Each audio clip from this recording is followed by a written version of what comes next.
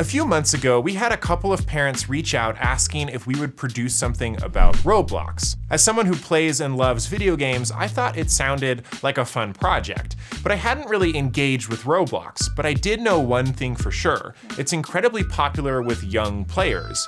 Writing about it would give me a chance to finally discover what all that fuss was about. Yet as I dove into researching Roblox, the more my excitement dimmed and the more my discomfort grew. So what's up with Roblox?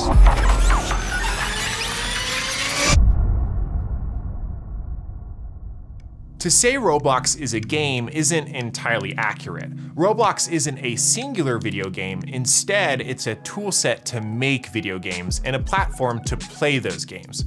So Roblox is more of an ecosystem with thousands upon thousands of unique game experiences that are designed by the community, the other players inside Roblox. You can play crude facsimiles of other games like Call of Duty or Madden. You can join a role-playing game where players have virtual lives and jobs and relationships. This variety attracts a large quantity of players. This guy, Roblox's CEO David Baszucki, has said he wants Roblox to become a billion player platform, What's more notable, however, is the age of Roblox's player base.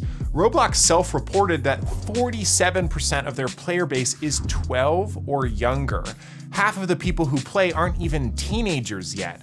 Beyond this, during the COVID-19 pandemic, half of all kids in the US under the age of 16 were playing Roblox. So Roblox is a free platform to make and play games that's incredibly popular with kids. But here's where we arrive at some of the uncomfortable parts of Roblox. The first thing to look at is the way that Roblox makes money. Remember, it's free, but anyone who's had a kid in their life ask them for V-Bucks and Fortnite will have a decent understanding of what we're about to talk about. Actually, Fortnite can provide a decent comparison. Free-to-play games often make their money by selling digital cosmetics or skins that change the way the in-game character looks. In both Fortnite and Roblox, players can exchange real money for the in-game currency. V-Bucks in the case of Fortnite, Robux in the case of Roblox. These in-game currencies are then used to buy those cosmetics. This system is intentional, and it serves to muddy the actual cost of the cosmetics cosmetics the games are selling. Sure, you may have converted your actual money into the in-game currency, and most players are aware of the conversion rates, but it's harder for the average 10-year-old to think of that in-game currency as actual money. It's Monopoly money, it's chips at a casino, on top of this, both Roblox and Fortnite create false scarcity for skins. Because they are a digital good, there's no true supply limit, but that doesn't mean you can't limit how long they are available for. If a player misses a skin while it's purchasable, they may never be able to buy it again.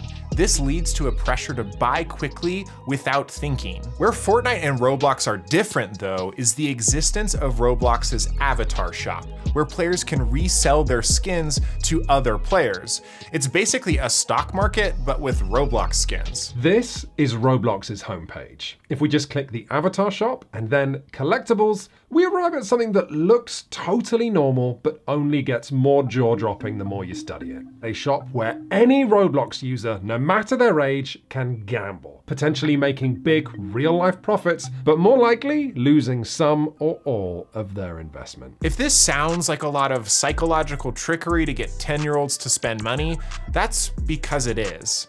Fortnite was sued by the Federal Trade Commission for containing dark patterns to trick players into making unwanted purchases. And regulators have also been taking a serious look at Roblox for similar reasons. The long and the short is this. Roblox and games like it, despite being free, often use predatory tactics to manipulate young people into spending money, while effectively introducing them to the same psychological designs used in gambling. To introduce the second distressing aspect of Roblox, I'd like to rewind to when I was 12. At the time, I wasn't allowed to play games online, but my best friend, who is still my best friend, played this online game called RuneScape. I decided to go behind my parents' back, don't do this kids, and make an account At the time, it was a pretty common thing to walk around the starting town and type looking for GF or looking for BF. My friend and I quickly used this to our advantage by making female characters and swindling people who were looking for a girlfriend out of their stuff. My mom eventually found out, I got into huge trouble, and I'm happy to say we've both been long reformed from our catfishing ways. But the significance of the story is twofold. It was easy for me to access the game without my parents' permission, and it was easy for me to pretend to be someone I'm not. Even today, with games like Roblox, it's extremely easy for anyone of whatever age and for whatever purpose to pretend to be just another kid. And Roblox's social systems and designs don't help. The default settings in Roblox are the least safe, allowing new accounts to message and be messaged by anyone. And there's no real way to verify the age of users. Of course, some, if not most players will play Roblox and never encounter any of these negative aspects. But taking into account the average age of Roblox's player base, it's important to recognize and call out how easily the platform provides inlets for bad actors to access these younger demographics graphics, giving them a footing to take the relationship beyond Roblox and into spaces with even less moderation, like Discord or Instagram. All of this together is a big reason why the National Center on Sexual Exploitation put Roblox on their Dirty Dozen list a list of popular companies that are facilitating, enabling, and even profiting from sexual abuse and exploitation.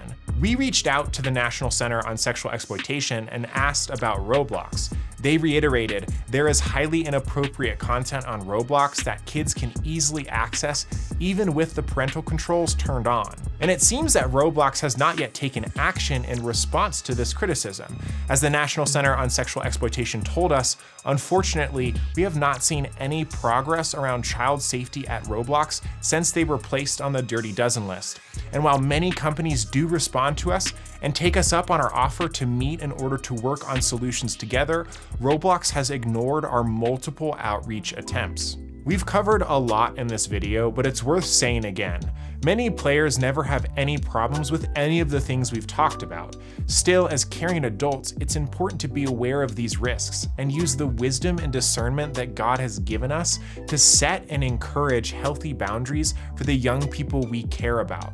We'll leave you with Paul's encouragement to the church of Philippi. And it is my prayer that your love may abound more and more with knowledge and all discernment, so that you may approve what is excellent and so be pure and blameless for the day of Christ, filled with the fruit of righteousness that comes through Jesus Christ to the glory and praise of God. How can you know whether someone actually is who they claim to be online? Have you ever had anything weird happen to you on Roblox?